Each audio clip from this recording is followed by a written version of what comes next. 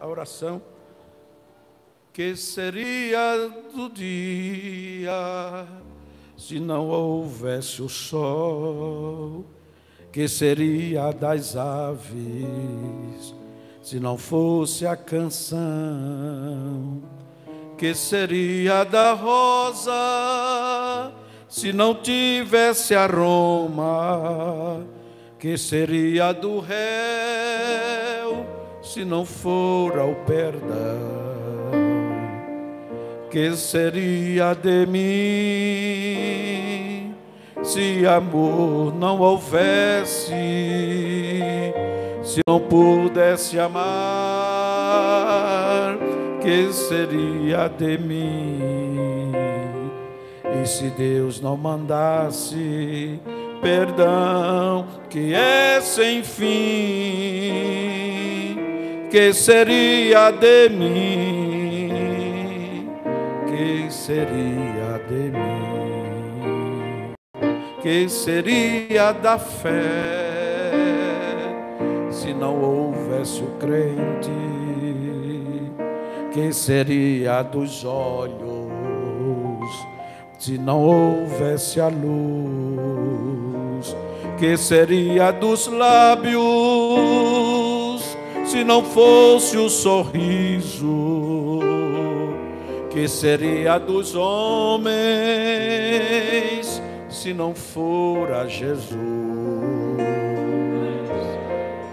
Que seria de mim se amor não houvesse, se eu não pudesse amar? Que seria de mim? E se Deus não mandasse perdão, que é sem fim, que seria de mim? Que seria de mim?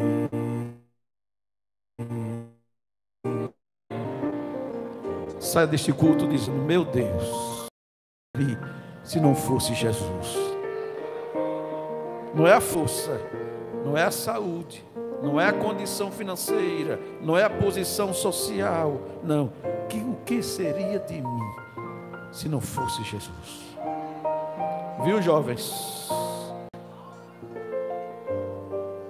O futuro de vocês não depende de Jesus, depende de vocês.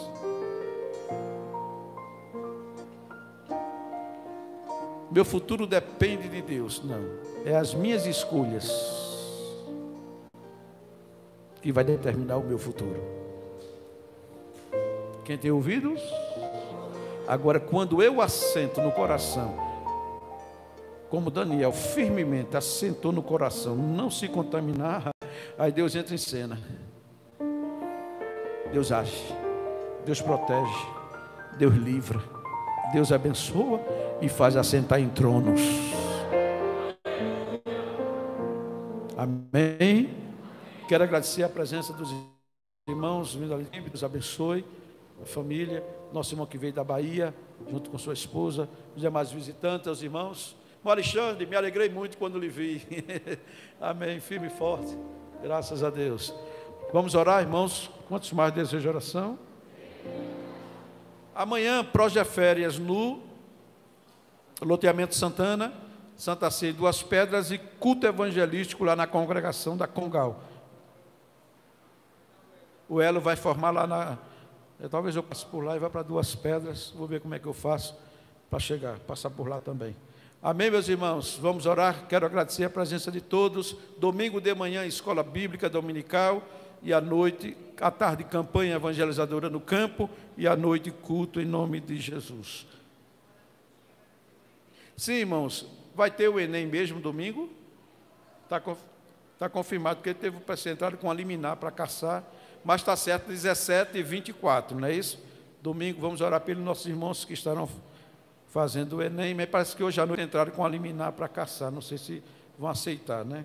Mas vamos orar pelos nossos irmãos que estarão fazendo a prova do Enem, domingo 17 e no outro 24. Vamos orar? Os sítios, ora aqui, amado. Oremos, irmãos, conforme nos orienta o nosso pastor. Querido Deus, nosso eterno